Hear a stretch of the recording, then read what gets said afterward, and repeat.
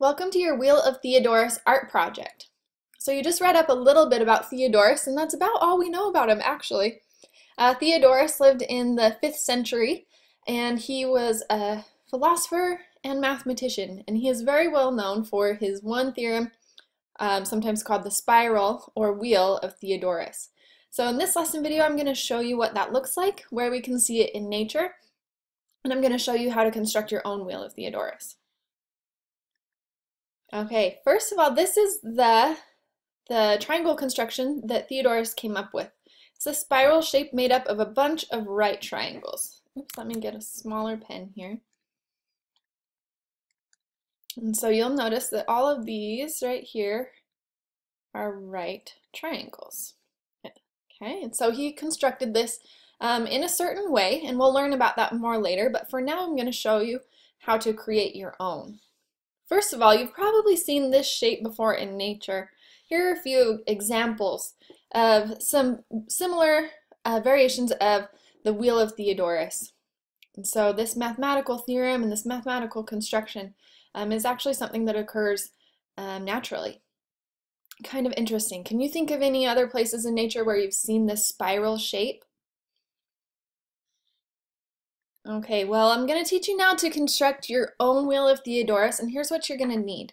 Um, you need a pencil, no less than two pieces of paper, a ruler, and coloring utensils. You can use watercolors, colored pencils, markers, crayons, whatever you'd like. Okay, on this page I'm going to show you how to construct your Wheel of Theodorus. Um, I want you to imagine that this uh, white background here is my piece of paper. Um, this is obviously my pencil. Here's the extra sheet of paper that I have and my ruler. Okay, so you're going to be doing this on a piece of paper with, with your own physical ruler and a pencil. Okay, but I'm just going to show you how to do it here on my smartboard. Okay, first things first, what we are going to do is we need to draw a circle at the center of our sheet. Okay, so we just have a dot here at the center of our sheet. And this is where all of our triangles, our right triangles, are going to stem from. From this circle, we're going to draw a line that is one inch long. And I think I'll actually use my line tool so it looks prettier. Okay, so we want one that's exactly one inch long. That's why I've got my ruler here. Okay, next we need to construct a 90 degree angle for this triangle. And so if you have a protractor, you can use a protractor, but that's what the sheet of paper is going to be for. The sheet of paper, all of the corners are 90 degree angles. So we're just going to use this sheet of paper kind of as a protractor and a guide for helping us find a 90 degree angle. And while I'm at it, maybe let's change the color of this so it doesn't look so much like our paper. Okay, so I'm going to shimmy up that paper right there next to it and then bring up your ruler and we're going to draw one more one inch length right there. So give me just a sec. There we go. So we're going to draw one other one inch length. Maybe needs to go a little further, huh? Okay, take our ruler away, take our paper away, and there we go. There's a one inch leg length, another one inch leg length, and a 90 degree angle between them. Okay, last we need to just connect these two uh, lengths to make, these two legs to make the hypotenuse of this right triangle. You might want to use your ruler to help you make the straight line that connects them. It should look something like that. Okay, so we've just drawn the first triangle in our Wheel of Theodorus. Now it's time to draw another one. All right, so the trick with this is that this leg length right here, well this, sorry, this hypotenuse right here is going to be the leg length in my next triangle. So this hypotenuse in the first triangle is the leg in the next triangle. And so we need to construct a 90 degree angle right here. So let's grab our paper and we're going to angle it a little bit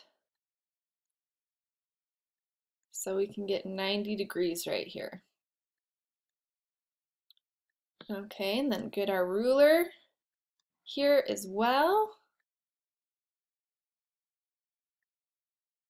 And we need it to be one inch long again. So all of the lengths that we're going to draw from now on for leg lengths are going to be one inch. So there's a one inch leg length right there with a 90 degree angle in between it. Then we draw the line that connects the two with the hypotenuse. I wish I could draw those a little bit closer. Okay, there we go. So there's triangle number two. And then hopefully you can see a pattern. We're just going to keep doing this over and over until we have 17 triangles. Okay, so you can go, 17 is um, as many were as were in that picture that I showed you before of the Wheel of Theodorus, and that's as many as I'll require you to make. But just know that you can continue making triangles as long as you want, but after 17 they start to overlap a little bit. And that's fine. So if you want to keep doing more than 17, that's fine. It, it does look pretty cool once you keep going. But you need to have at least 17. Okay, so just got one more on here. Okay, and just to reiterate, I'm gonna, um, you guys just keep drawing the triangles, but let me show you something here. So remember, these are all the 90 degree angles for my right triangles. And this side length was one inch, right? We drew that to be one inch. And then this one was one inch. That leg length was one inch. And that leg length was one inch. Every single leg length around my spiral will be, will be one inch long. Okay, so you don't need to draw in those numbers. That's just me showing you about it. Um, but go ahead and keep drawing those triangles till you have 17 of them. So when you're done and you have those 17 triangles done, it will look something like this. Notice this is 17 of them, but and if you kept drawing more, you could, but they would just start to overlap. Okay, next up in this assignment is you need to turn your Wheel of Theodorus into art. Like I said, this, this spiral shape is in nature all around us. And so maybe you can turn your spiral on your piece of paper into something that you've seen in nature, or maybe you can get a little bit more creative with it. Here are some examples from, uh, from students' past submissions. I had somebody turn it into a sun and they actually used watercolors for their picture. Another student used um, colored pencils to draw a snail shell, which is probably a naturally occurring uh, spiral shape anyways. That was pretty interesting. And then also I've had this student, you'll see she did her 17 and then continued on to make a hat, and that looked pretty cool. So those are some examples of some great submissions. Okay, your grading rubric for this assignment um, includes these four parts. First, you need to draw the Wheel of Theodorus, and you need to look over here for the maximum amount of points. It needs to be constructed correctly and carefully. The lines are all straight, the angles measure 90 degrees, and the leg measurements are correct, meaning all those leg lengths were one inch long. Okay, the triangles. For full points, you need to construct all 17 triangles. No less. You can do more, but no less.